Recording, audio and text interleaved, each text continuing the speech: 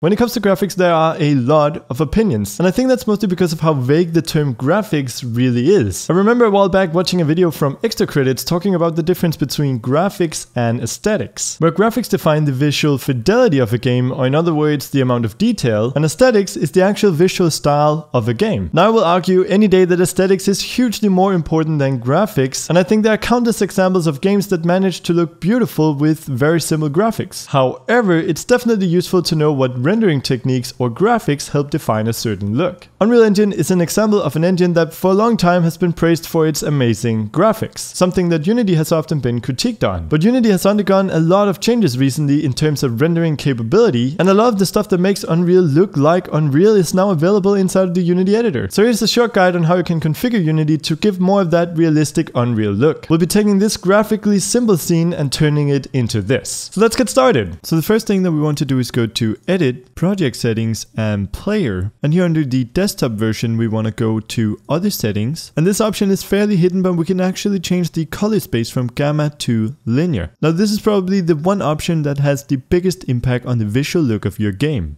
The color space determines the math used by Unity when mixing colors in lighting calculations or reading values from textures. A big advantage of using linear color space is that the colors supplied to shaders will brighten linearly as light intensity increases. With the alternative gamma color space, brightness will often begin to turn to white as the values go up. This often leads to a very washed out look.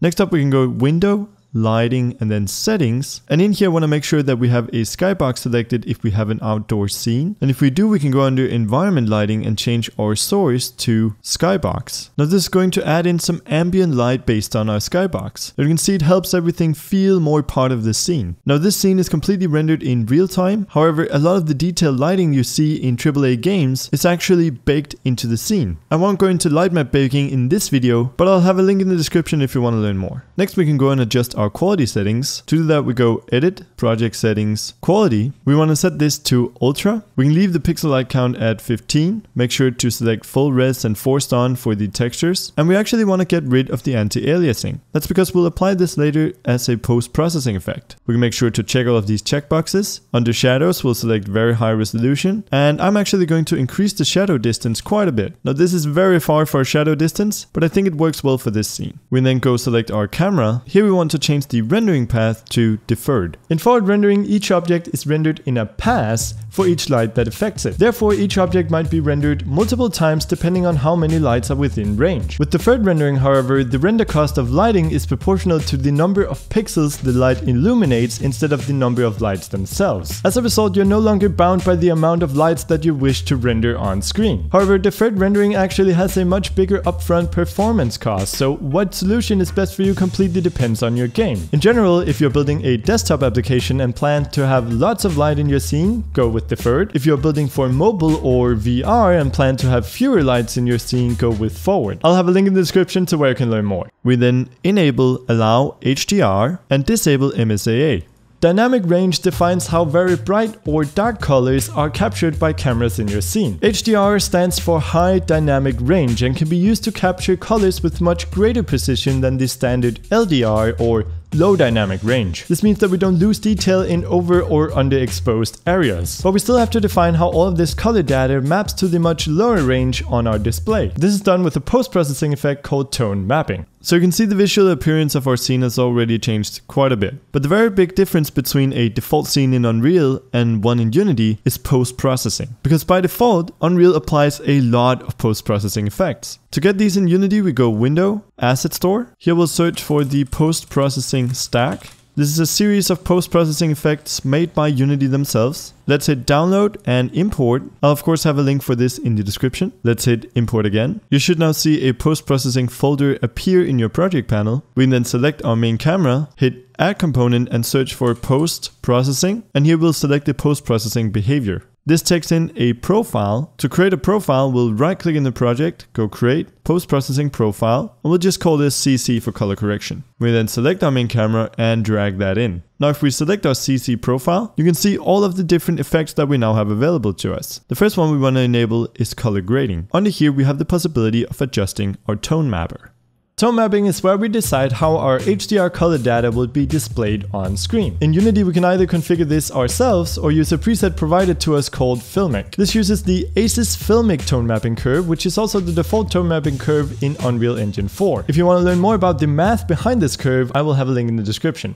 And by default, we can choose from two profiles. Neutral, where we can adjust everything ourselves, or Filmic, and you can see right away our scene just pops so much more. Next, we can enable eye adaptation. While playing this will mimic the effect of your eye adjusting to a certain brightness level by automatically changing the exposure of the camera based on the brightness of the scene. After enabling the tone mapper and eye adaptation, you often have to go in and adjust some of your brightness levels. I'm gonna go to lighting and bump up the ambient light to 2, as well as select my directional light and change the intensity from 4 to 7. Let's then go back to our post-processing, and the rest of the effects are fairly small changes. We of course want to add in some motion blur. You can control how much motion blur you want using this slider. The bigger the number, the more the motion blur. Unreal also includes a vignette by default. Let's enable this and maybe bump down the intensity a bit. If you don't have the possibility of baking your lighting, you'll often also see ambient occlusion applied as a post-processing effect. Let's enable it, and you can see the shadowing that now gets applied to objects that are close to each other. We can of course adjust stuff like the radius and the intensity. We can also add in a bit of bloom. Now I want this effect to be very subtle. I'll bump down the radius a bit and the intensity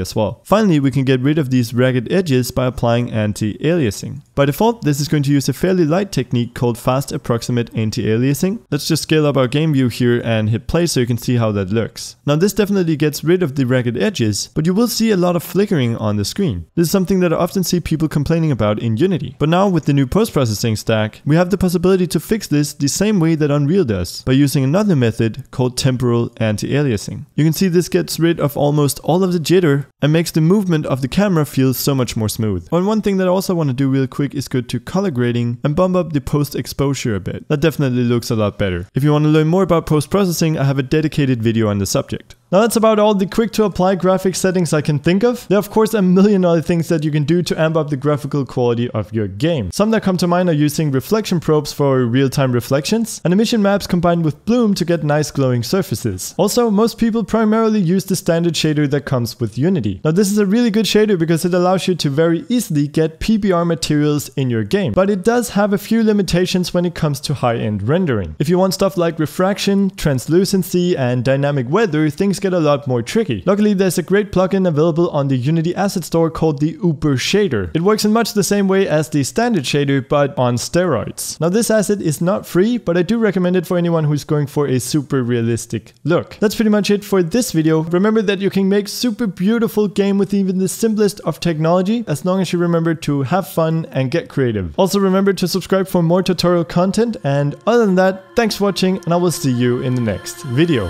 Thanks to all of the awesome Patreon supporters who donated in August, and a special thanks to Hans Hoftun, Jesper Mikkelsen, Thomas Worley, Stone Gamer, Cyborg Mummy, Jason Latito, Derek Heemskirk, Faisal Marify, Husam Kaza, Judaman, Aaron, Robert Bund, and Peter Locke. If your name's not on the list, I will make sure to include it in videos later this month and the next month as well. You guys rock!